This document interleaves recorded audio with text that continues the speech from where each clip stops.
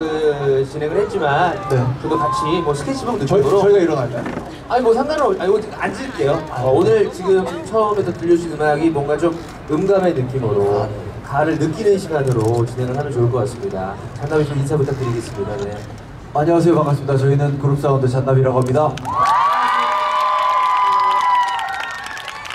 잔나비 요즘 인기를 실감하나요? 네 너무 감사합니다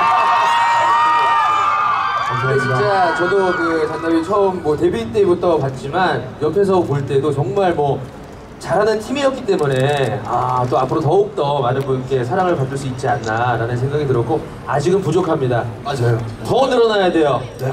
잔나비 사랑해 주시는 분들 응원의 함성 한번 질러주시기 바라겠습니다.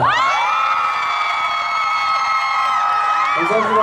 감사합니다. 근데 이분들도 저랑 같은 마음이었을 거예요. 첫 번째로 들려주신 곡이 두 곡을 이어서 불러주셨더라고요. 어떤 곡이었어요? 네 Good Night이란 노래 그리고 뜨거운 여름밤은 가고 남은 건 볼품없지만이라는 노래였습니다 아, 특히나 그 뜨여남볼, 어, 네. 이 곡의 가사는 진짜 사람의 가슴을 굉장히 애절하고 아프게 만드는 것 같아요. 이 노래를 불러주시는 우리 정훈 씨는 좀 어떤 마음으로 좀 이 노래를 불러요? 어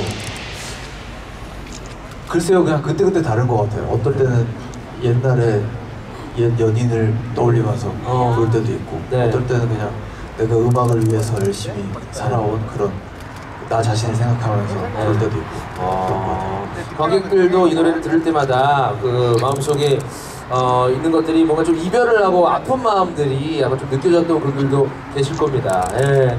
자 가을에 그래서 더욱더 잘 어울리는 노래 우리 잔나비와 함께하고 있는데요. 요즘에 축제나 뭐 페스티벌에서 엄청 바쁘시다고 들었어요. 아, 네, 그래도 나름대로 열심히 활동하고 있습니다. 음, 음악도 새로운 음악을 들려드리기 위해서 준비를 많이 한다고 들었는데. 네, 이 올해를 목표, 목표로 네, 올해. 네. 정규 2집을 준비하고 있거든요. 뭐 공연도 중요하지만 새로운 음악들 또 많이 많이 우리 관객 여러분과 팬분들께 띄워드리는 게 더욱더 값진 선물이 또 될 수도 있을 것 같습니다. 네. 좋은 노래 많이 부탁드리고요. 또 이어서 들려주실 곡들이 좀 있다고 들었어요. 네, 오늘은 조금 잔잔한 모드로 네네네. 저희 드러머 결이가 네. 잠시 휴식 중이라 가지고 네. 오늘까지거든요. 오늘까지는 네. 조금 잔잔한 모드로 조금 잔잔한 모드로 들려드릴게요. 아니 근데 다음 가, 가을이니까 어, 이런 무대 나쁘지 않은 것 같습니다. 여러분 괜찮으시죠?